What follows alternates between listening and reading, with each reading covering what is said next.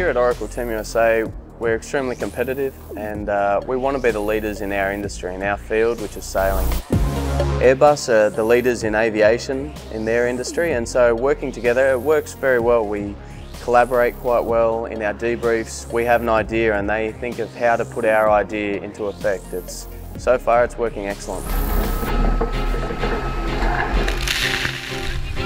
I think there's a lot of similarities between sailing and the aviation industry and probably now more so than there's ever been.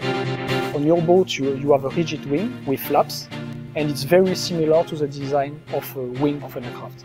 Like us, Airbus operate at a very, very high standard. We perform pre-flight checklists before we even leave. We have a huge design engineering team spending hours and hours on the modelling, on running through all the sophisticated systems and hydraulics before we even go on the water.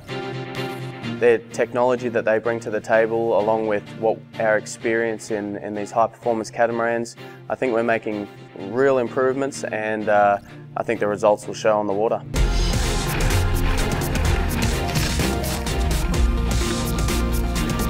Oracle Team USA gets a huge advantage by the collaboration with Airbus by having access to the best technicians in their field worldwide in hydraulics, in aerodynamics, measurement technology.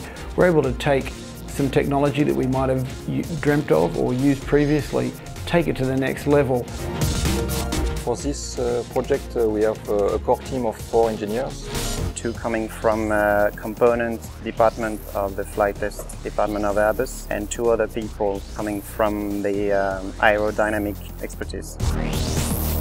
Airbus appreciating a smaller team environment so together we're creating quite an agile unit.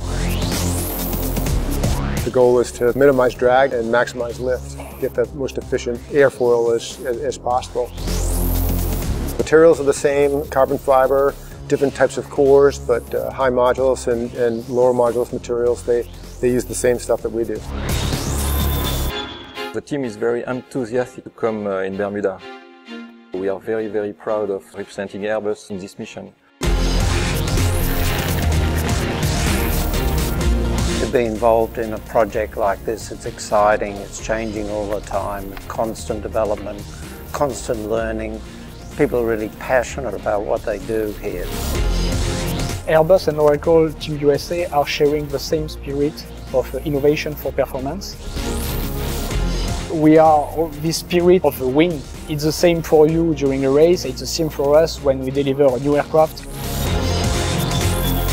It really is flying on the water. So it's such a cool sort of meshing together of the two. And for us, we think it'll give us a competitive advantage.